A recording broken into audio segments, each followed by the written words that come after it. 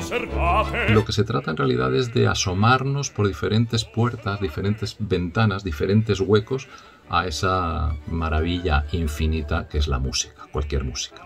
Se trata en suma de ampliar nuestra capacidad de disfrutarla, eh, desde una simple melodía hasta una sinfonía o una ópera. Aplicar aspectos también de la propia música, que la propia música contiene, luego a nuestra vida eh, diaria en términos de bienestar, en términos de desarrollo emocional, en términos de potenciar nuestra creatividad. El Teatro Real es sin duda una de las principales instituciones musicales del país y su labor principal obviamente es el teatro lírico, la ópera.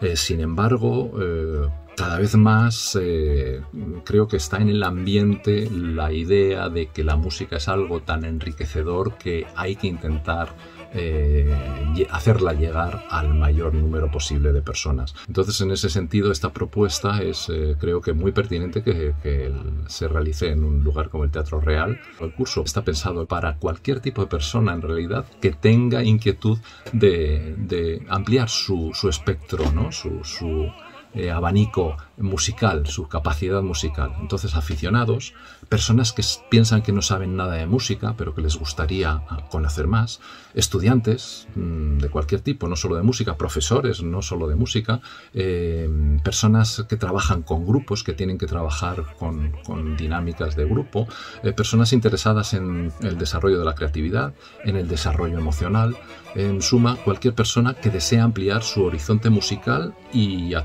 de él también su capacidad de desarrollo emocional y su creatividad.